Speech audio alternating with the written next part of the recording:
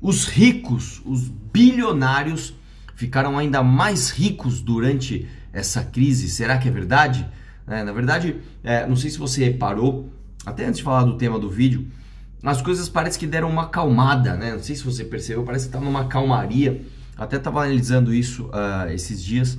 E por que, que isso está acontecendo? Primeiro porque as pessoas meio que se acostumaram né, com o, que a gente chama do bode na sala. Né? É, no caso do presidente, no caso dos governadores, as pessoas já meio que se acostumaram com os erros e acertos de uns de um e do outro, né? Então, por exemplo, ah, mas o presidente fala muita besteira, mas tudo bem, já estão se acostumando, já estamos se acostumando com isso, né? Poxa, o, o governador ali está fazendo cagada aqui, já já estamos nos acostumando com isso, né? E uh, além disso, tem uma outra coisa que também é muito importante, é uma, uma análise interessante, eu estava tava, uh, ouvindo um especialista dizer, nesse nesse mês agora, né? É, já começou a acabar o prazo né? Já começou a acabar, é engraçado, né? Já começou a acabar o prazo daquela redução salarial que muitas pessoas tiveram que passar durante a crise. E quem teve o seu salário reduzido é, teve estabilidade. Então você tem as pessoas começando a voltar a ganhar o seu salário de maneira integral com a estabilidade no emprego e a volta do movimento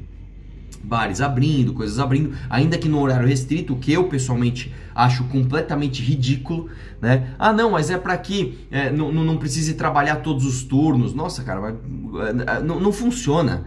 É, já abre de uma vez, essa é a minha opinião, já abre de uma vez. A quarentena era para ter sido feita de uma maneira diferente lá atrás. Agora, meu, agora tem que abrir, tá? Essa é a minha é, opinião. Mas enfim. E é, é, as coisas estão dando uma calmaria. Você vê, o Bolsonaro não está falando mais tanto, ele está meio quieto tal. Você vê que, que as coisas estão num clima diferente. Mas algumas notícias ainda acabam furando é, as bolhas. Uma delas que eu via, né? Que eu acho que todo mundo viu, né? Ah, propaganda da Natura, propaganda da Natura. Eu sinceramente não senti que foi um tema relevante o suficiente. Eu acho que não tinha nada construtivo para falar, por isso que eu deixei até é, passar. É, uma outra notícia que estão tá, se falando bastante é da nova nota de 200 reais, né? Nossa, mas tá, é, vamos criar a nova nota de 200 reais e até tem algumas pessoas tendo algumas dúvidas, né? Ó, você, gera, você criar uma nota de 200 reais gera inflação?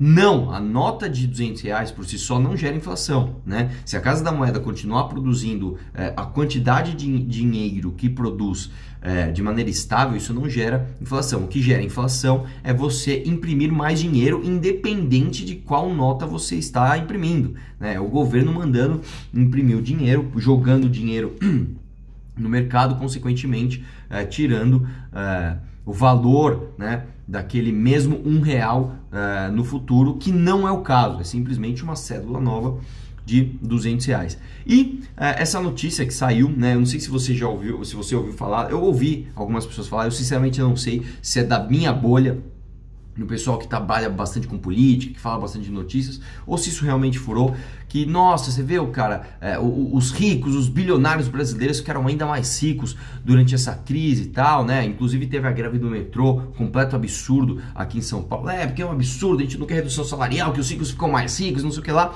E da onde vem essa notícia? Vem de uma, de uma reportagem da Carta Capital, né? Para quem não conhece, a Carta Capital é uma revista completamente esquerdista que faz as matérias mais absurdamente ridículas que você pode imaginar. E da onde vem essa notícia? Né? Essa notícia vem de uma no estudo da Oxfam, que é uma ONG que ela fica ali medindo os super ricos e essa Oxfam mediu que uh, bilionários brasileiros ficam 34 bilhões de dólares mais ricos durante essa pandemia. Só que tem um lance aqui, e, e, e isso é muito importante, inclusive, eu, eu até estava com o livro aqui perto, deixa eu ver se está tá meio longe, tem um livro muito bom chamado Como Mentir Usando Estatísticas, e uma das técnicas que você usa, inclusive no curso que eu vendi né, é, de debate, eu falo sobre esse livro, eu mostro algumas técnicas que esse livro nos apresenta, não só para você aprender a mentir usando estatística, mas para você poder detectar uma mentira,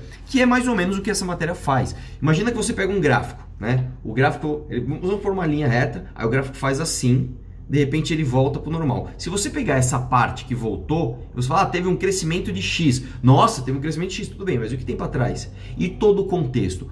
O que essa reportagem faz é justamente isso. Ela tira uma fotografia né, é, durante a crise E ela esquece, né? Três fatos. Vamos, vamos entender três fatos que essa matéria simplesmente esquece. Número um, quando que a gente começou a fazer o isolamento social. Quando que, na verdade, o Brasil começou a falar, cara, vai ter que ter algum tipo de isolamento e as, os estados, os municípios começaram a fazer isso. Lá para março. Quando isso aconteceu, isso já estava precificado. Então, se você pegar, por exemplo, a, a bolsa de valores, a, a, o mercado de ações, como que ele funciona? Ele funciona antecipando alguns movimentos, né? É, nem sempre esses movimentos são acertados. Isso não significa que o mercado, né, é de, de, de de valores é, de mercado financeiro é, é, é, sábio e sempre prevê todas. Não, não, não é isso. Mas, por exemplo, quando sai uma notícia que, olha, vai ter que fechar, tá tendo uma crise sanitária mundial, vai chegar aqui, tará, tará, tará, tará, os preços começam a cair antes mesmo da crise chegar, porque você sabe que ela vai chegar. Então, a antecipação desses fatos é, é, é, é, é parte ali do mercado financeiro que eles simplesmente ignoraram. Tá? Segundo ponto, você teve ali mais um ativismo do mercado por dois motivos. Primeiro, porque realmente você começou a ver ali no horizonte a reabertura, e o segundo ponto é que você viu de fato ali a possibilidade real de uma vacina. Isso não significa que ela vai sair amanhã, depois de amanhã. Inclusive, eu fiz um vídeo sobre vacina que deu muito pouca visualização, já era esperado, né? Não só pelo, pelo YouTube que está fazendo isso, infelizmente, mas porque é, é, as pessoas têm menos interesses em assuntos técnicos, mas realmente começa a, a, a se ter em, em, diferentes origens é, é, a possibilidade de você olhar e falar: opa, a vacina está em algum lugar por aqui, já já a gente acha. E isso, novamente, é um movimento que o mercado antecipa. E o terceiro ponto, que esse para mim é o mais fundamental, que a matéria simplesmente ignora, é que de janeiro a março perdeu-se muito dinheiro muito dinheiro, mas muito dinheiro. Então, quando em janeiro ali já começou a falar, ih, o negócio vai pegar, o negócio tá ruim. Em fevereiro, quando chegou ali perto de março, cara, se perdeu muito dinheiro. Você pode perguntar para qualquer pessoa que investe em mercado financeiro, não, não só os bilionários, que isso aí você pode ver em qualquer. É, é, é, reportagem desses caras que, que acompanham esses caras, mas qualquer pessoa, cara, se você tem, sei lá, puta, tem uma graninha aqui, tem alguns poucos é, mil, dois mil reais e compra uma açãozinha aqui, você, você sentiu isso, cara. Você com certeza sentiu isso. E sim, o mercado está começando a se recuperar. Isso não significa que os bilionários ficaram mais ricos. E quando você vê a matéria, aqui eu não vou tirar tudo aqui, tipo assim, a, a, a manchete é: bilionários brasileiros ficam 34 bilhões de dólares mais ricos. E quando você baixa a, a a, a, tela aqui, a primeira foto que aparece é, um, é uma pessoa muito pobre ali numa situação, né? Enfim. E aí quando você põe ali o, o cursor na, na foto, o neoliberalismo, ainda mais em um país como o Brasil, aniquila. Né? Essa é a legenda da foto. Então você vê que é uma revista que está militando contra o que a gente quer. E aí a gente vem naquele argumento liberal que você fala, ah, aquele argumento liberal bobo, aquele argumento liberal faixa branca. E, mas é verdade, cara. Os países onde você tem menos desigualdade social, onde você tem ali mais é, as pessoas mais parecidas em termos de renda, são os países mais economicamente livres. É ponto final, cara. Não é fato, não é, não é opinião. Isso é um fato. Se você pegar a lista dos países ali cara, tem vários, vários índices que medem liberdade econômica. Um dos mais famosos é, que é o Heritage Foundation, que você olha lá e você vai ver, cara, os países que estão no topo em termos de liberdade econômica têm ali menos desigualdade social. É assim que funciona. Então, simplesmente isso aqui é de fato aquela, aquela reportagem militante que tenta te empurrar governo goela abaixo, né? Não este governo, né? Tenta te empurrar Estado goela abaixo para que você fique na mão desses caras. No mais, cara, é engraçado como eles se preocupam um pouco com outras coisas. E uma das coisas que mais me incomodou, tá? É, por exemplo, o senhor Dias Toffoli, que durante a crise gastou 350 mil reais em viagens. Se você pegar nos últimos seis meses, o senhor Dias Toffoli gastou 350 mil reais em viagens. E eu até pergunto para você, por que, que um ministro da Suprema Corte do nosso país, durante a maior crise sanitária que a gente já viu, precisa gastar 350 mil reais em viagem? Por que que esse... Por quê? E aí você fala, não, mas o cara deve estar tá fazendo um puta trabalho. Eu vou te falar o que aconteceu hoje, no, no dia que eu estou gravando esse vídeo.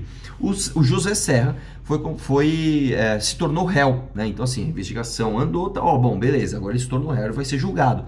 Minutos depois, minutos depois dessa decisão, eu, eu, eu vou repetir aqui, minutos depois dessa, dessa decisão, o senhor Dias Toffoli simplesmente travou a investigação. Falou, ó, parou. Acabou. Ele parou, ele brecou a investigação e ainda por cima ele, ele, ele proibiu o uso de todas as provas ah, ali no julgamento. É isso, cara. É isso. É isso. E aí você tem revista aqui querendo falar ali, querendo de alguma forma dizer que, ó, oh, os bilionários, malvadões. As coisas não são bem assim, né, cara? As coisas não, bem, não são bem assim. Infelizmente, os maiores absurdos vêm da estrutura do Estado. Tá bom? É isso aí. Um abraço e vamos questionar tudo.